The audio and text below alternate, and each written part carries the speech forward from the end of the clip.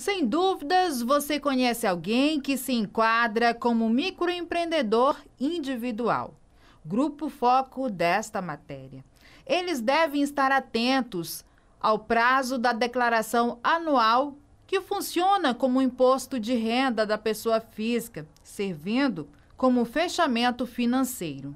Estou falando do MEI. A declaração do microempreendedor individual, o MEI, está disponível no portal do empreendedor e deve ser entregue até o dia 30 de junho. Assunto que a gerente regional do Sebrae, Aurilene Silva, fala com mais clareza durante uma entrevista concedida à nossa equipe de reportagem. Uma categoria que o governo federal criou para tirar muitas pessoas da informalidade. Esse microempreendedor individual, ele tem o faturamento de até 81 mil e pode ter um funcionário.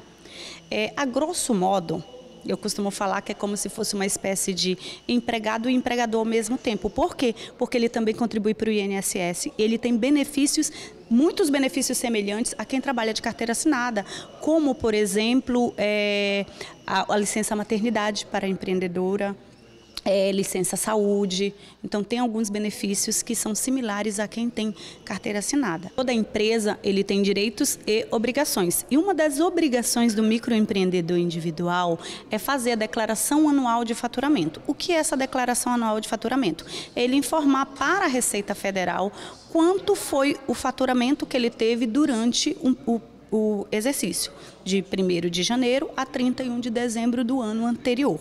Então, esse prazo ele vai até o dia 30 de junho, já foi prorrogado porque o prazo original é até maio.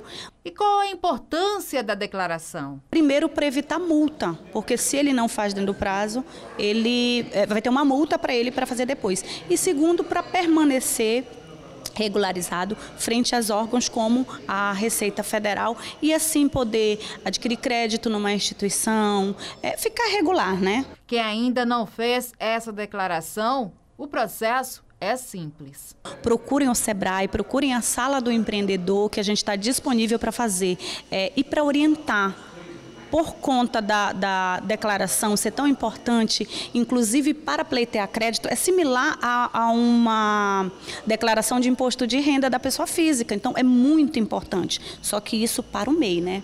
É muito importante que ele faça. Ele consegue benefícios é, estando regular e a declaração é condição para isso.